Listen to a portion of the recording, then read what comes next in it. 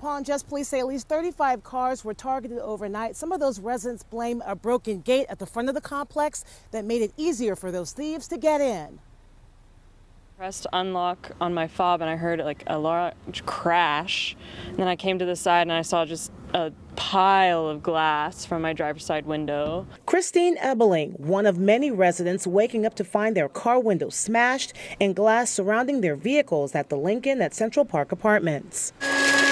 They're cleaning up the mess left behind by thieves who targeted more than 35 vehicles around 4:30 this morning. And just hearing about the how many got broken into, that's certainly concerning. Busting out windows and taking anything of value. It just doesn't feel safe to be here if it's that easy to come in and break into as many cars as they did because I saw eight around me that were broken into. Hunter O'Malley says the thieves' job made easier since the gates at the front of the complex haven't worked in months. That's something they should have fixed a long time ago. Not really angry, just kind of scared. Both students say the thieves rummaged through their cars, not stealing anything, but they're left with the bill to repair the damaged windows.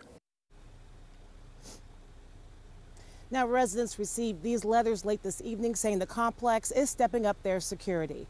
Reporting live tonight, Katrina Adger, KOCO 5 News.